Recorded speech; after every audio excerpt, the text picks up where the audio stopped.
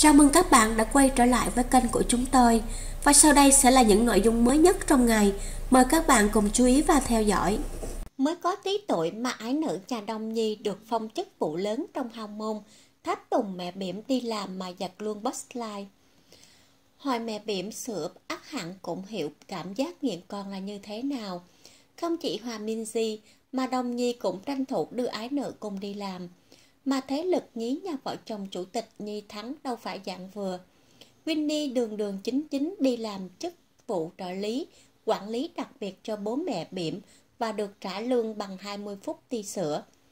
Để khoe sức hút khủng của con gái, Đông Nhi vừa tung loạt ảnh bé Winnie đi làm cùng, nhóc tỳ nhanh chóng trở thành tâm điểm và giật trọn watchline của mẹ biểm. Dù chưa được một tuổi, nhưng con gái rượu của ông Cao Thắng đã trộm ví rất bụ bậm cứng cáp và ngày càng ra chuẩn phiên bản sao y bản gốc của bố chủ tịch. Được mẹ bé đi làm, Winnie hấn hở ra mặt và còn tranh thủ trổ tài người mẫu nhí. Ngồi một góc cũng cho ra được 7.749 kiểu ảnh cho cô chú thả tim mỏi tay.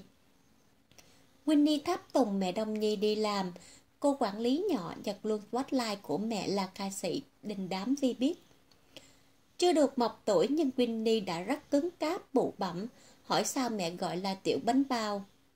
Có cô con gái cô ti hộp me cỡ này, hỏi sao vợ chồng Đông Nhi ông Cao Thắng bế con đi khắp nơi.